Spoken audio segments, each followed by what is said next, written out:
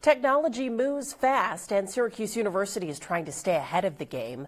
A new institute will be dedicated to autonomous systems. For example, drones, driverless cars, other technology that can run on its own.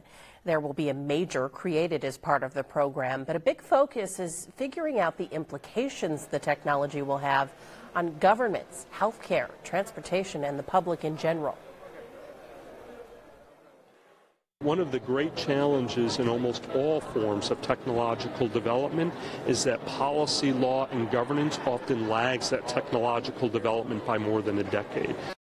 So this is the first institute being established that really takes both an interdisciplinary approach and really does try to look at what will the policy, what should the policy look like.